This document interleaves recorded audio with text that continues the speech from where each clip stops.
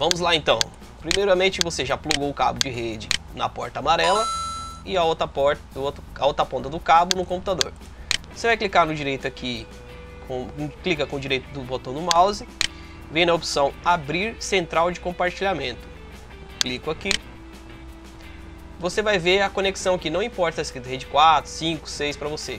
Contando que tenha aqui, ó, conexões, no caso aqui a minha é Ethernet 4. Vou clicar aqui e vou em detalhes. Em detalhes eu tenho que prestar atenção no Gateway aqui, ó. É ele que está definindo o IP do meu roteador, tá vendo? Gateway. Então eu sei que o Gateway do meu roteador é 10.001, beleza? Agora nós vamos lá no navegador, vamos digitar a mesma coisa, 10.001, dou Enter, ele já vai dar essa mensagem para você. Como eu quero já configurar direto sem ir no, no, no, passo a passo, tem a opção de ir no passo a passo, mas eu vou na configurações avançadas. Se você for no passo a passo, ele vai te explicar como é que funciona. Mas como eu estou aqui para isso, para explicar para vocês como é que funciona, então vamos na configurações avançadas.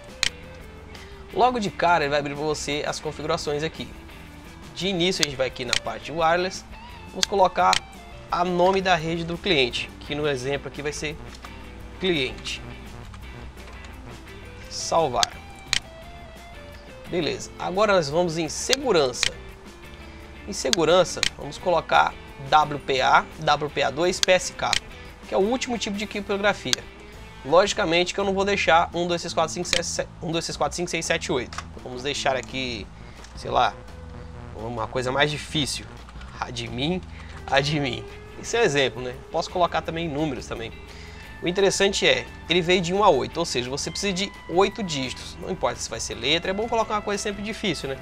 Vou colocar uma senha aqui, teste 1, 2, 3, 4, 5, 6. Beleza.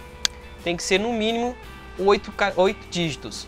Pode ser letra, pode ser número, pode ser data de aniversário, o que você achar melhor, você coloca, contando que seja no mínimo 8 dígitos. Interessante que não passe para o seu vizinho nem para quem você não conhece. Salvei. Então, beleza.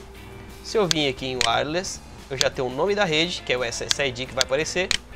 E se eu for aqui em segurança, eu já tenho a senha. Perfeito, está configurado o seu roteador.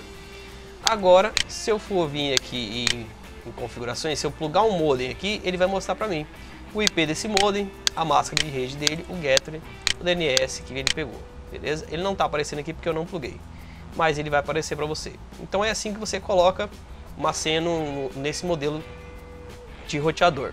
Você vai em wireless, vai aqui, do jeito que você clicou em wireless, ele já vai abrir a opção de SSID para você.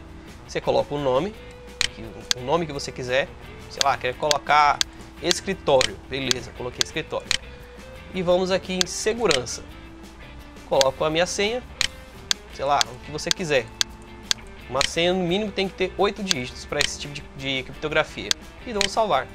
Pronto, já como eu já recapitulei aqui para você, está configurado seu roteador com usuário e senha.